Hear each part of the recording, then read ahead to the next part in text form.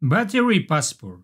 In February 2027, all electric and plug-in hybrid vehicle we have to include the Battery Passport, a digital document that will accompany them through their lives and which contains fundamental data for users, manufacturers, and workshops.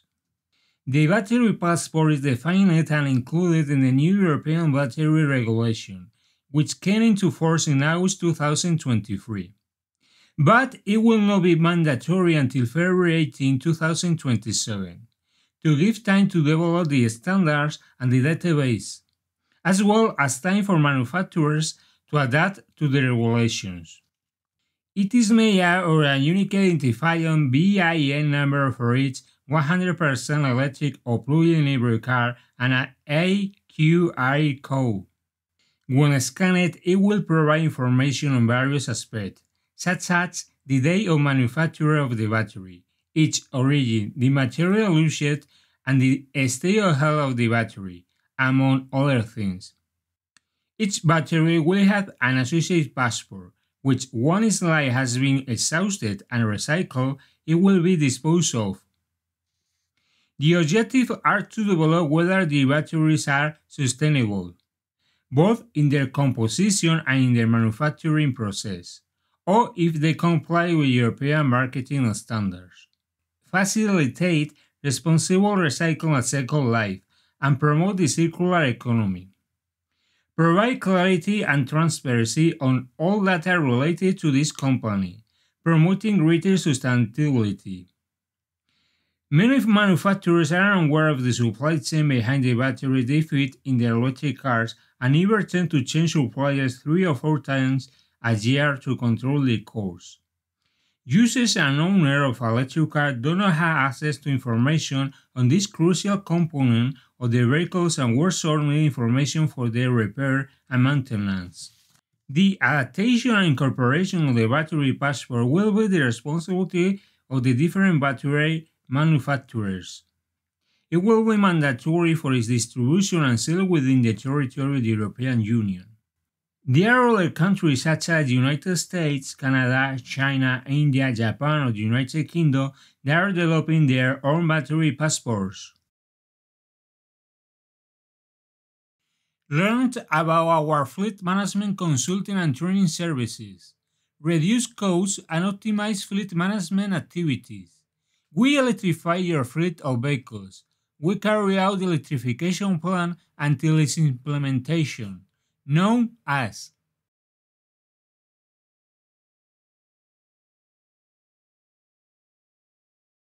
Battery Passport, born in Germany and coordinated by Systemiq, a circular economy firm. Among the partners and supporters, we found several battery manufacturers and associations including CATL, and car manufacturers such as Mercedes-Benz as well as recycle companies. In summary, this is a significant commitment in economy, business, and sustainable terms. It will be mandatory for all car batteries that have more than 2 kWh capacity. Therefore, there will be the ones that equip electric vehicles as well as plug-in hybrids. This makes sense since the batteries in plug-in hybrid model do not have to be charged. Nodules associated with mild hybrid systems, which are even smaller. It will be located in accessible places such as the front door, the charging socket cover, or the hood, since the battery is usually integrated into the floor of the car, making access difficult for the owner. To protect the intellectual property of each company at, at the same time transparency. Not all companies will have access to certain manufacturing data. For now, the system will implement it all in Europe, although its adaptation to other markets such as the United States is pending to improve transparency and facilitate access or not to aid for the purchase of electric cars if it depends on the origin of the place of manufacturing. The extra cost of establishing this paper will be between 8 and 15 euros per battery. It will create accountability in company tracking who intervened at eight states, when and where. Additionally, we alert manufacturers to change in the supply chains, allowing them to monitor activity.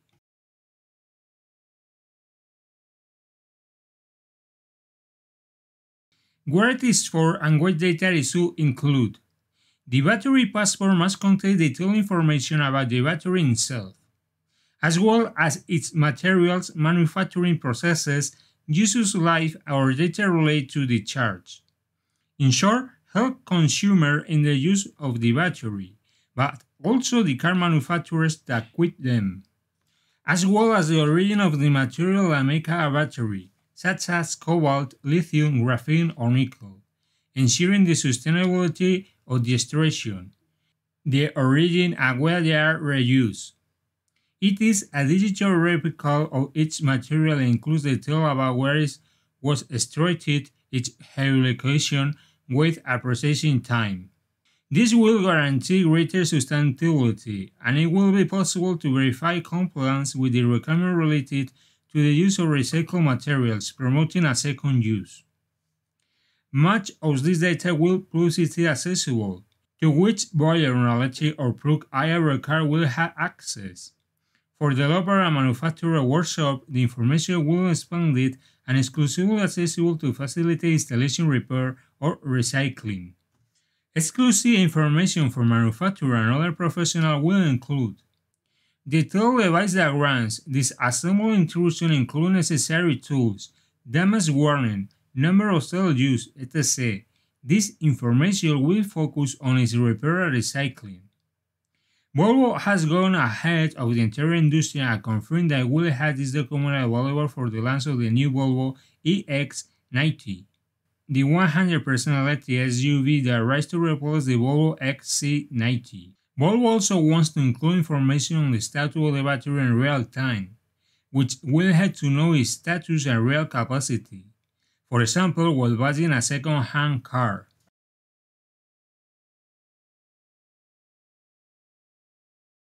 Where it is for and what data should include. Those with public access will be the following.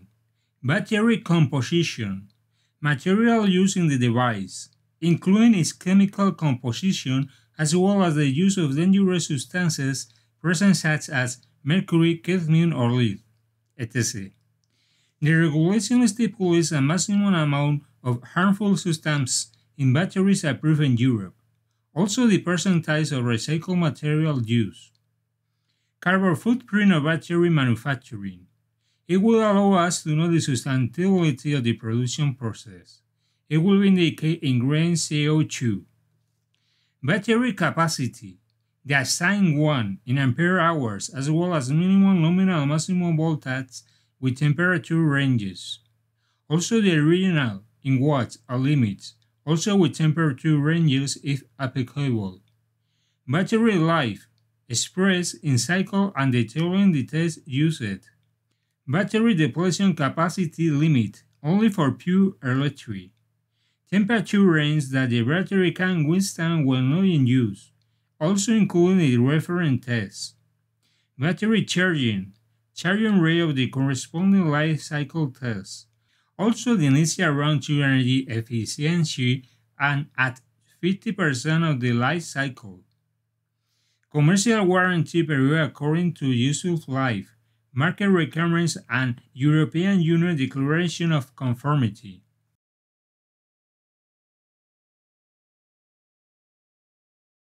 Utility in vehicle fleets. The advantages of the battery passport in fleet management are as follows. Acquisition of the vehicle battery. The battery is the most expensive component of the electric vehicle, up to 35% of the total cost of the vehicle.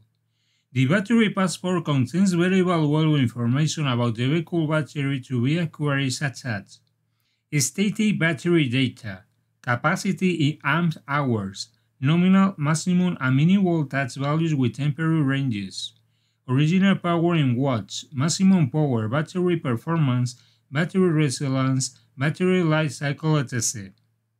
Use of the vehicle battery. The battery passport contains very valuable battery performance information such as dynamic battery data, remaining capacity, state of charge, discharge rate, number of cycle performed, etc. Valuable information for the workshop, such as manuals, instructions, etc., about battery repair and maintenance, etc. Battery CO2 emission cycle.